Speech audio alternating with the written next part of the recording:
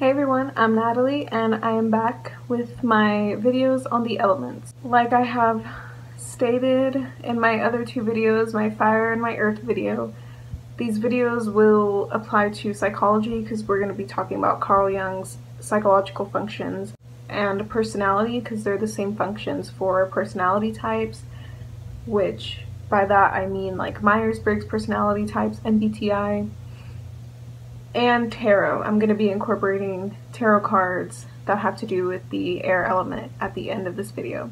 So today we're going to be talking about the air element and how it is associated with the psychological function of thinking.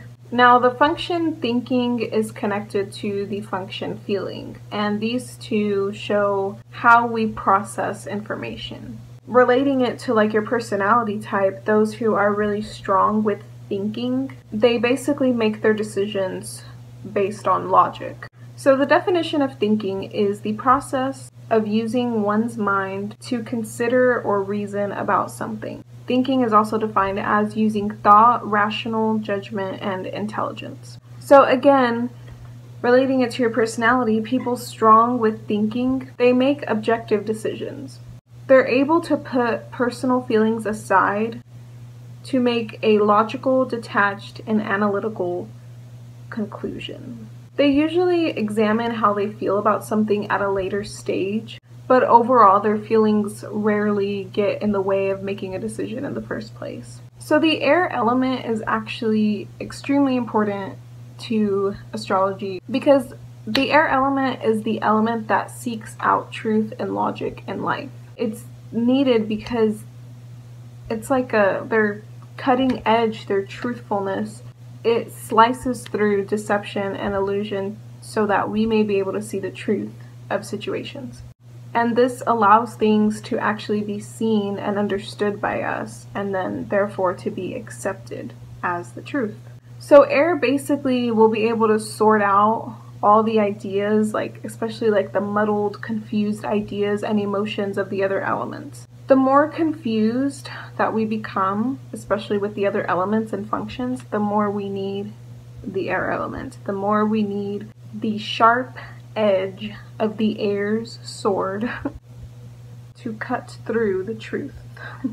so that's like a good segue, I guess, to bring it into tarot because I mean, that's basically what the Ace of Sword is. It's basically like the sword of truth coming through. And to me when I see this it's basically like making something known to me. Like when I see this come up in readings I feel like this is basically like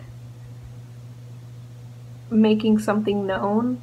Like you need to really like pay attention basically. I mean I guess you should pay attention regardless of what comes out but I don't know. The ace of swords really makes me like pay attention to things. Um I also really like the King and Queen of Swords. Um, I always, I know that the Queen of Swords is Aquarius and I know that the King of Swords is Libra. I know, but to me, I still always get Aquarius vibes or energy from both of them. Just because the King and Queen of Swords are like more mature with like the air element. Oh, by the way, I guess Mercury's retrograde, so I'm sorry. But yes, swords represent the air element. I never even said that. So the reason I get Aquarius energy from these two cards is because they're more like mature with the air element and they're about just saying the truth. Like saying the blunt, honest truth. Like these two cards are so direct and straightforward to me. Or they show energy that is very direct and straightforward. And to me, I feel like Aquarius is a sign that doesn't beat around the bush at all, so that's why I get Aquarius vibes from these two cards a lot. Like to the point where they'll say things that might be kind of painful to hear, but they don't really care. The King and Queen of Swords don't really care about that. They don't care about your feelings.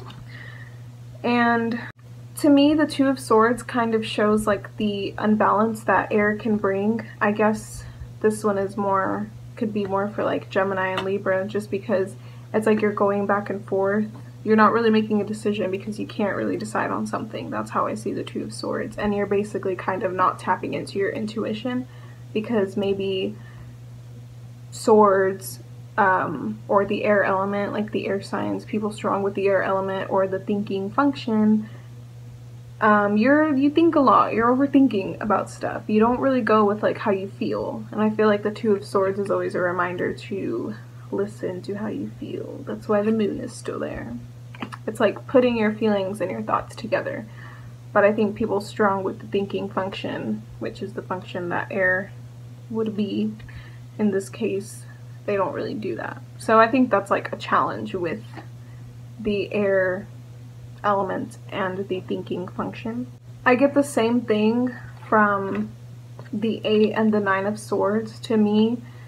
The 8 to me, these cards, they both kind of say, like, being trapped in your own mind. Um, and it's kind of like you get to the 10 because you need to release that. And also the 8, too, I guess. You kind of need to, like, release yourself from yourself, your own mind. And the Nine of Swords, I love this card, even though it's, like, a really depressing card. I still love it because it's, I don't know, it kind of just shows, like, the the overthinking and anxiety that people can have, like the air element, the kind of darker side of the air element, the overthinking, the anxiety, and people even strong with like the thinking function. I think this card kind of shows like the dark side of it. So those are the cards in the suit of swords, which is associated with the air element that kind of stand out to me in representing the thinking function. So in the Major Arcana, the Major Arcana is the um, set of cards in tarot that show like life uh, progressions, I guess, like your steps towards um, like a journey. Like if your journey was in a line and it was like step by step, the Major Arcana cards show the steps in a journey towards something. It could be life, it could be a journey towards anything that has a start and end, which I mean, all life does. So we have the Lovers, which is Gemini. I love this card. This is like one of my favorite cards in tarot. Um, to me, this shows like the duality of Gemini. Um, yes, this is like a love card, and when you get it, it's supposed to show like a union of people. But I, in terms of Gemini, I see it as like the duality nature of Gemini because we've got the Tree of Knowledge and the Tree of Life here, and technically both of them are kind of needed for life. Um, the man is looking to the woman, the woman is looking to spirit to guide her. So to me, this just shows like the duality nature, the two sides of Gemini coming and un unionizing, which is what Geminis have to do with themselves. Basically unionize their sides to them. And then we have Justice, which is Libra. We've got the scales here. Kind of the same thing with Libra. They've got to like balance their shit. They've got to also balance other people's shit, which kind of sucks. Sorry that you have to think about other people. But Libras are good at it, so I guess they don't really care. They have to find justice in the world. They have to balance the world basically, like weigh out the good and bad. And then my another favorite card of mine in tarot is the star. I love this card. This is Aquarius. And I love it because it's it means hope. It means not losing hope, not losing faith. Literally look into the stars and like look. I mean, this is a woman, but she's got the water pouring out, which to me shows like the water bearer, giving the water of knowledge and information to give us hope about something, to help us see truth in something, which is what Aquarians do. And then as for planets, we've got the Fool, which starts the major arcana. This is Uranus. Uranus brings about changes, brings about beginning something by changing things up. So this is like the start of the journey, the Fool. We've got the Magician, Mercury, which Mercury rules Gemini. Venus, the Empress, which Venus rules Libra. And then Saturn, which is the co-ruler of Aquarius along with Uranus. those are the cards in tarot that are associated with the air element and I guess like the thinking function. Hopefully I didn't go through that too fast. Hopefully it kind of made sense and it was interesting to you. If you know your personality type, are you someone who's really strong with thinking?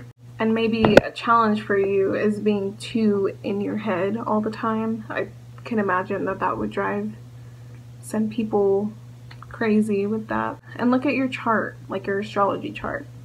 Look at where the air signs are in your chart because this is kind of how you can see where the thinking function plays out the most in your life. And if you have tarot cards or if you're into it, I mean, look at the pictures because they kind of show like the progressions of the thinking function in a way. Like they kind of show the process of like these thoughts that we have or the air element. Thank you for watching and I'll see you next week with my last video.